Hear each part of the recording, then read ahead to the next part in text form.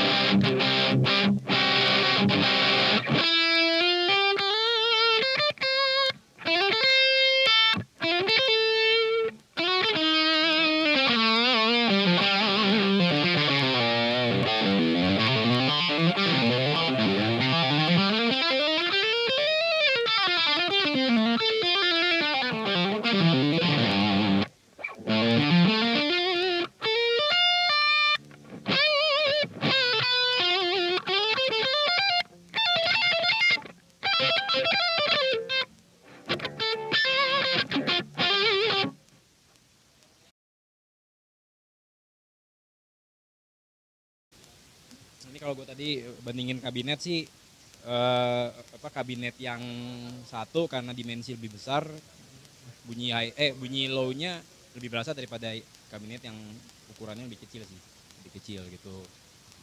Mm-mm, tapi kalau untuk jenis speakernya untuk yang tadi untuk yang si Fox yang pakai greenback ini dia bunyi middle mid sama high-nya lebih berasa sih lebih high. Itu karena si ini speakernya sih. Gitu. Soalnya gue punya soalnya gue juga di rumah punya ada greenback yang 4 kali 12 low nya ada. Gitu low nya ada. Itu sih kabinet Martial.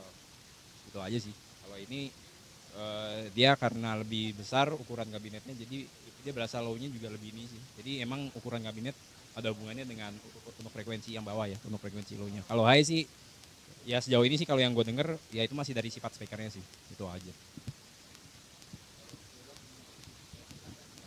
Eh, gini, kalau untuk ampli yang cube head ini sih menurut gua dia cukup all around ya.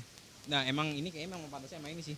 Karena gini, kalau ini dipasangin sama ini, mungkin kalau orang yang yang kayak model gue gue yang lebih demen ngambil karakter middle sama high, mungkin gue lebih cocok ini. Cuman kalau untuk ngomong all around yang orang which is butuh low sih enakan ini sih uh, lebih ini uh, memang apa memang ini karakternya lebih all round sih cuman ya itu dia memang yang dia jualnya untuk yang kebutuhan all around kan kalau gua kan emang udah tahu yang spesifik gua mau jadi ya itu dia kembali lagi ke ini.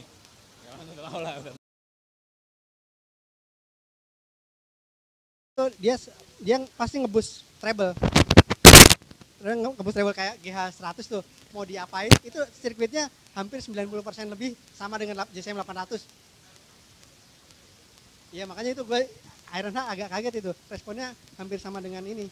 Cuman kalau yang tra uh, Travolani yang sebelum-sebelumnya yang apa? Yang masih pakai toroid itu nge- ngebus treble banget.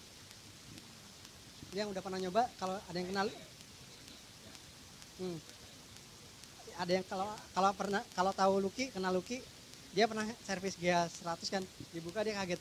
Ini mah JCM 800 tapi kok suaranya nggak kayak JCM 800 karena penasaran toroidnya dicabut ganti eh, ini yang EI tip Travo EI kalau ini kan EI Travo EI suaranya bener ini Marshall kalau ini itu juga itu sa- salah satu alasan kenapa si John Sur di CAE 3 plusnya modifnya itu trafonya ganti balikin ke EI tadinya kan dia pakai toroid tadinya dia nggak percaya kalau itu bakal ngeboost treble atau responnya beda.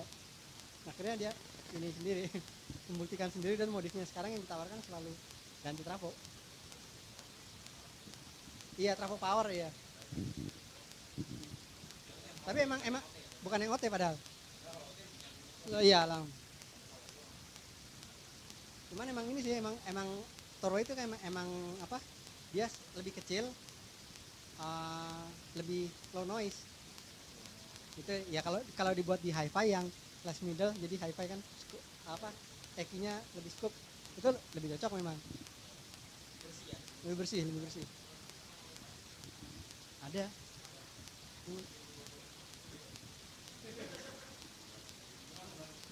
Makanya udah apa pas dua japek terakhir lah dua, dua tahun terakhir ngeliat yang laini-laini pakai pakai trafo EI wah udah kemajuan abis ini.